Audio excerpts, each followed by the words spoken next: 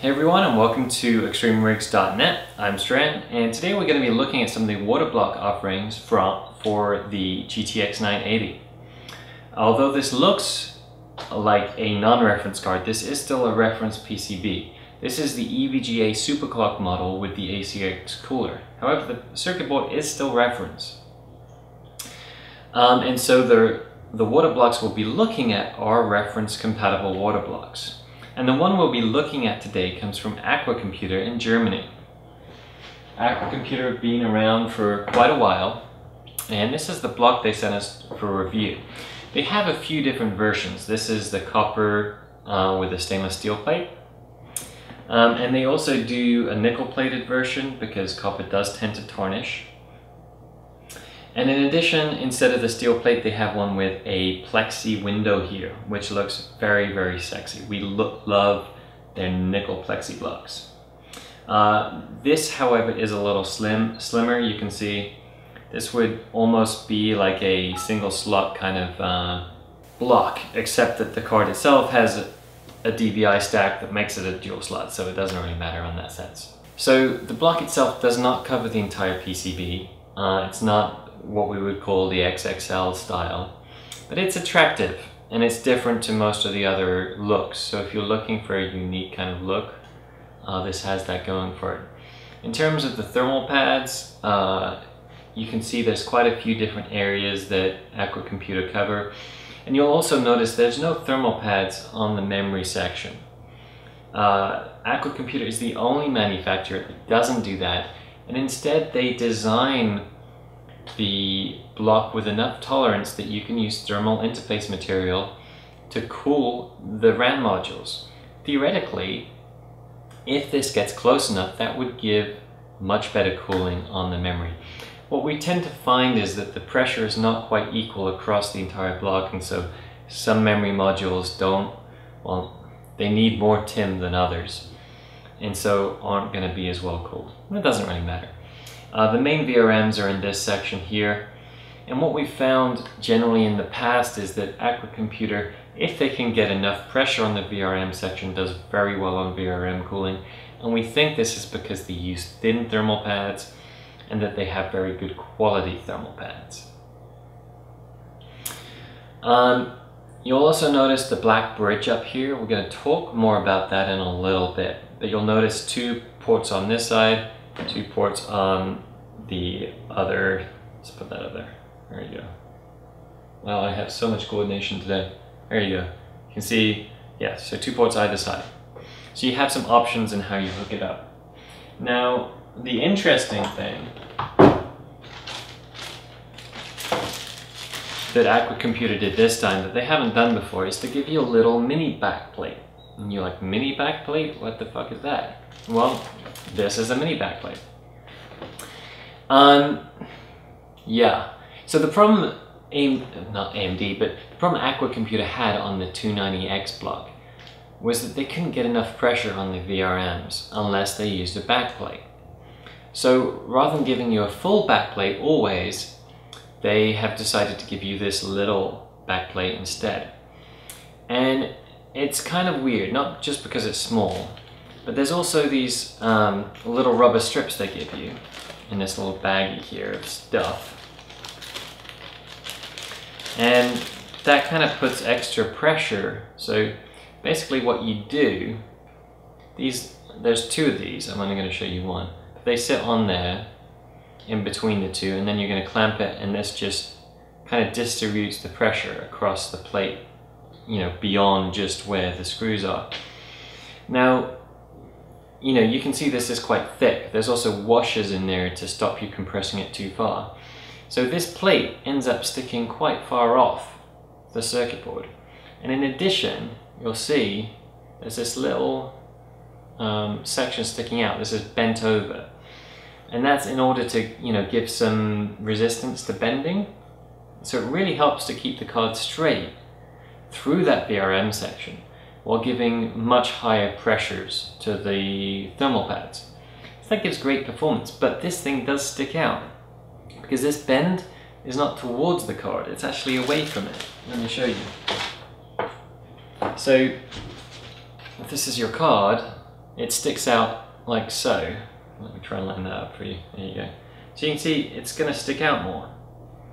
So it's a bit of a puzzle why they would do that rather than making it this way so it kind of goes over the top of the card or something. But that is what they did. So compatibility wise, this is a problem. We found that we couldn't put the card in the first PCI slot um, on X79 boards, and it's probably true of X99 too, because uh, right where the screws were attaching and they stick out because they're button heads, uh, that would hit the extra RAM, sorry, the DIMM slot, the end of the DIMM slots on the Asus Rampage 4. So that's not ideal. Um, so it does kind of limit you in where you can put the card. Uh, we also found the same problem, although it interfered at different spots, with the active backplate. Now, um, this one comes with the block, but Aqua Computer also sell active and passive versions of the backplate. So let me pull the backplate out. You can see what the deal with that is. So this is the uh, backplate itself. Ignore the parts falling off. Um, and this would be almost the same as the passive one. The passive one removes these standoffs, but the actual black part is the same. You'll notice there's some grey gunk in here, that's leftover TIM that I haven't cleaned because I did not prepare adequately for the video. Um, on the back, uh, this is the part that actually touches the card. You'll see two uh, thermal pad strips, one of which is kind of wandered off here, but it should be on this other groove. Um, and so these give extra cooling to the VRM section. You'll also see um, not all of these machined areas go all the way through. So some of the screws, some of the mounting screws are hidden and we like that. We don't like every screw to come through the back. There are still quite a few though. Now the thing to notice with that, like we were talking about compatibility, let's put it up here against the wall. You can see that's still quite thick for a backplate. And there's also these little plastic standoffs, one of them fell off earlier. And so this, just on its own, whether it's an active or passive mode, uh, still has compatibility problems. So if we measure this real quick with our handy dandy calipers, we'll see exactly what that is. It's that, the total thickness from the circuit board, my goodness, is it really? That's measuring 6.15 millimeters thick, which is really thick. You know, and that's just, that is the thinnest, you know, the most you're going to be able to clamp down is all the way to these um, standoffs. So basically 6.2 millimeters thick. It's really thick. I mean, that's, that's what, a quarter of an inch. So like I said, that is the, pa the passive backplate. But if you get the active one, what you also get is a new bridge. And so you're going to, well, how you do it is you attach your block to the PCB and then you attach the backplate and then you take the bridge off and you replace it with this one. And so you see this heat pipe here. That heat pipe connects to this groove in there. Well, it's more like this. There we go. Um, so, you know, any heat on that back plate is gonna transfer to the heat pipe. And then the heat pipe, it's hard to see in there, but you can just see it. Um, it's exposed slightly on both, both ports. So ideally, if you have the water or coolant or whatever you're using running over it, that means that the heat from the backplate gets transferred to the coolant. So in other words, it should help with cooling. And it does. We'll, we'll talk about that later.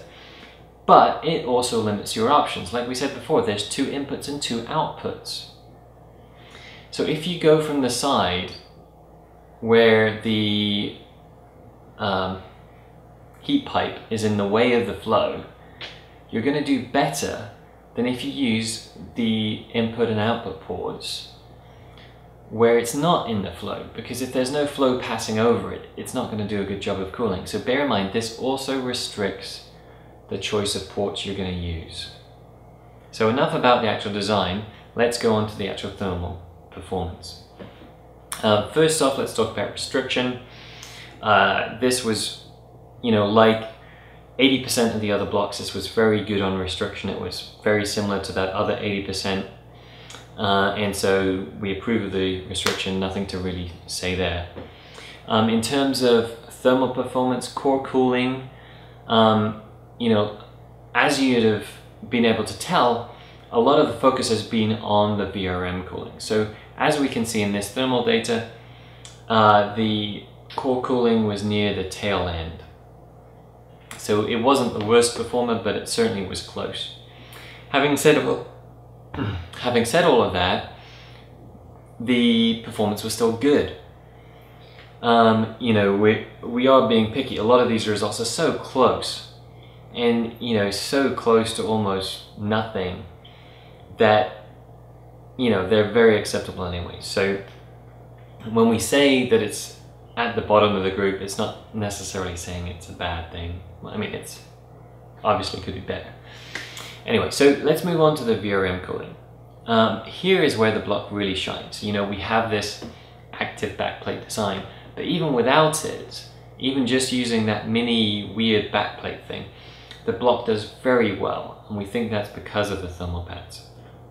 Um, so VRM cooling exceptional, I mean way better than any anything anyone else had done. Um, and so overall, that's really where the block shines. Yes, the core cooling is okay, and it could be better, and we hope that Aqua Computer focus on that next time. But this block is really about uh, the VRM cooling. That's really the story there, and it does what it says. The active uh, backplate does help, but honestly, the temperatures with the regular mini backplate are good enough that you really don't need it. So it's only if you want the looks, if you want the last ounce in performance, then, then by all means get that. Uh, we love the looks, we love the quality of the block. Overall, it was great. And the only thing we can really fault is the compatibility and, you know, just wishing that core cooling was just a little bit better. Otherwise, though, a great block.